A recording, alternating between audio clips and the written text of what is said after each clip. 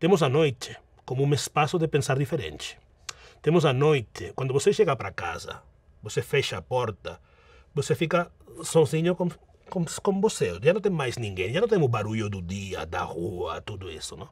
Na noite, você fecha a porta e está com a sua família, mas quando você está no seu quarto e entra na cama, você fica com os seus medos. Você fica com a sua realidade.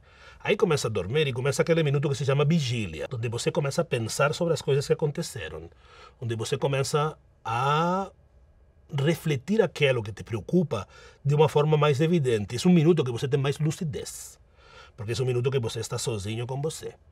A gente congelou esse minuto e a gente vai querer fazer a exposição sobre esse minuto.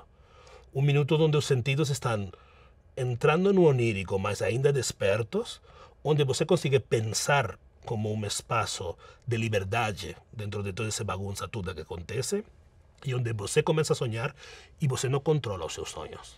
E o pedido que foi feito aos autores e a ideia da curadoria que estamos fazendo com o Yatá é precisamente entrar nesse território. Entrar num território que você não necessariamente controla. Entra num território onde você começa a resumir o dia e a ver aquelas coisas que funcionaram ou não funcionaram.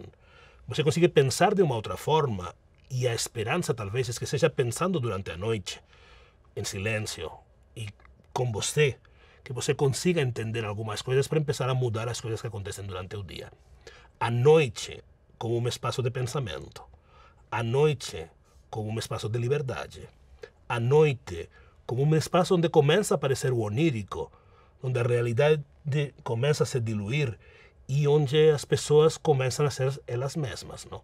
Óbvio que na noite aparecem os fantasmas, óbvio que na noite aparecem os medos, óbvio, mas também aparece talvez uma lucidez. E, e, a gente está querendo explorar o território da lucidez. Queremos que seja uma exposição mais íntima, onde a gente dialogue com os seus fantasmas um pouco e onde começam a aparecer as coisas que, que normalmente durante o dia não conseguimos ver.